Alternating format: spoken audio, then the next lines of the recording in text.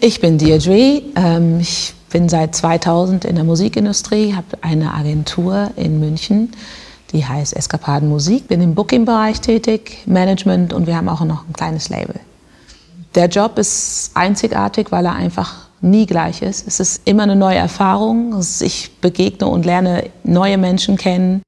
Ich liebe den Job einfach auch, weil man so viel zurückbekommt. Man arbeitet und arbeitet und arbeitet und irgendwann ist das Produkt da. Das Baby ist dann geboren. Mir macht der Job wirklich sehr viel Freude, sehr viel Stress, aber ich liebe ihn auch sehr, ja.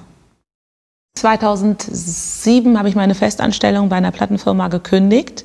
Und zwar auch einfach, weil ich die Liebe und die Leidenschaft zur Musik nicht verlieren wollte. Habe eine Auszeit genommen und ähm, ich bin sehr dankbar für diese Auszeit, denn jetzt konnte ich wieder voll einsteigen, habe ein Dreivierteljahr Pause gemacht. Durch die vielen Jahre meiner Anstellung freiberuflich gearbeitet, da ist natürlich so, dass äh, du in der Firma, wo man tätig ist, natürlich die Kontakte natürlich auch hat. Und irgendwann ist es dann auch so, dass man auch ein Gefühl dafür haben muss, am richtigen Ort, eine richtige Zeit, bestimmte Leute zusammenzubringen, zu connecten. Die wiederum bringen andere Leute mit. Das ist auch, ich sage mal, eine Leidenschaft von mir, auch ähm, ähm, soziale Kontakte zu knüpfen und die richtigen Menschen zusammenzubringen. Frauen sind ganz, ganz, ganz, ganz wichtig für diese Branche.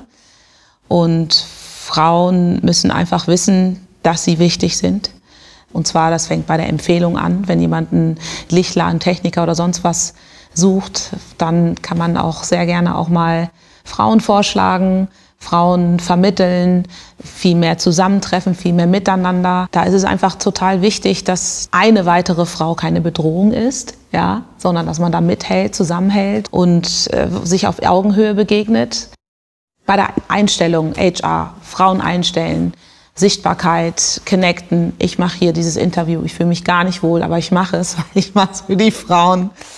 Und ich denke, dass es wichtig ist. Also einfach mehr Möglichkeiten, Chancen nutzen für Kolleginnen. Ja. Wir sind gezwungenermaßen auf einem guten Weg. Ich glaube, das passiert nicht freiwillig. Firmen kriegen viel Druck vom Betriebsrat und, und, und auch Social Media dass da was passieren muss, dass es eine Quote geben muss, eventuell auch, oder dass es mehr in der Führungsebene geben muss. Das ist aber nicht etwas, was von innen heraus irgendwie entsteht. Und das finde ich wahnsinnig schade. Das wird auch bedeuten, dass, wenn es diese Position natürlich dann auch gibt, dass man vielleicht auch nicht mit offenen Armen empfangen wird, ne? weil es jetzt nichts freiwillig ist. Auf jeden Fall, äh, ja, es muss sich was ändern und zwar äh, sehr schnell, ja.